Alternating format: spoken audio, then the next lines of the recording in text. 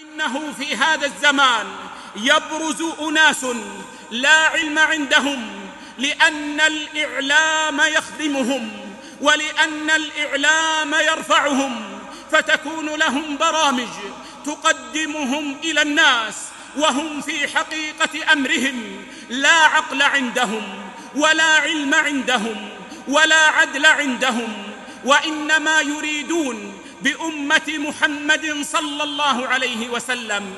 الجهل والفتن فواجب علينا أن نعرف العلماء الربانيين سواء من يظهرون في الإعلام أو لا يظهرون في الإعلام وأن نحذر من الأغرار الصغار الذين لا علم عندهم.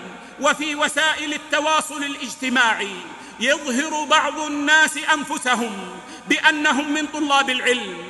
وأنهم من أهل العلم وقد يكتبون بعض الأبحاث التي من رآها ظنهم من أهل العلم ثم يثيرون الفتن والشكوك في قلوب المسلمين.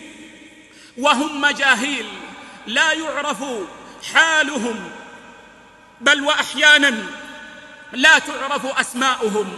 فذاك أبو القعقاع وذاك أبو الدحداح والله أعلم هل هم من المسلمين أم من غير المسلمين يتسترون وراء وسائل التواصل الاجتماعي.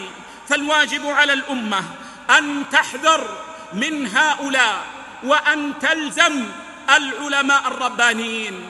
ومن سار على فتوى العلماء الربانيين برئت ذمته وسلم عند ربه سبحانه وتعالى وسلمت له دنياه من فتن أهل الأهواء.